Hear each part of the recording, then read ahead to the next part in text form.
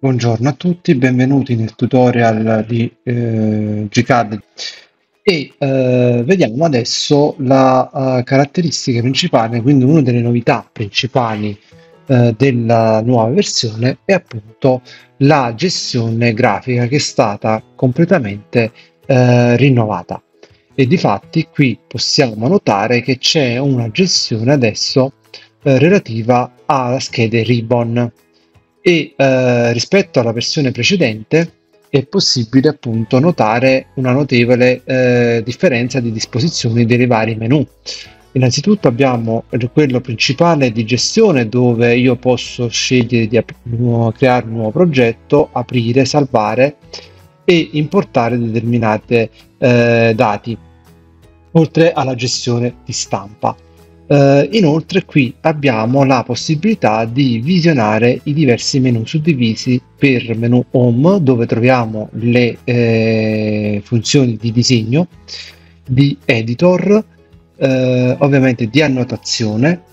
gestione layer, attività di creazione e modifica blocchi, gestione delle proprietà degli elementi eh, CAD, gestione dei gruppi, e poi abbiamo delle funzioni di utilità dove troviamo appunto le funzioni di misura,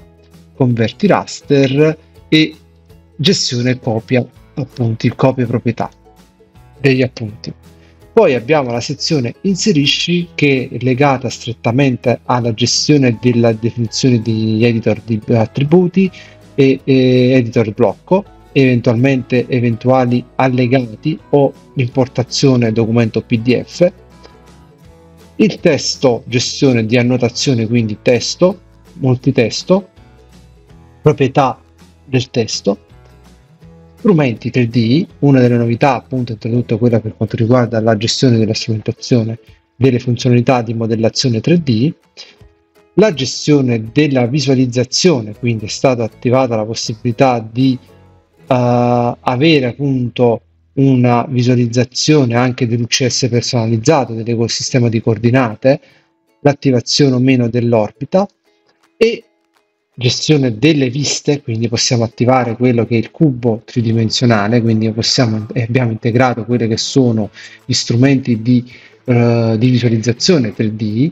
la gestione ovviamente delle favolozze delle proprietà riferimenti esterni, definizione immagini, il modulo DOCFA e poi una sezione dedicata a, alla gestione della stampa,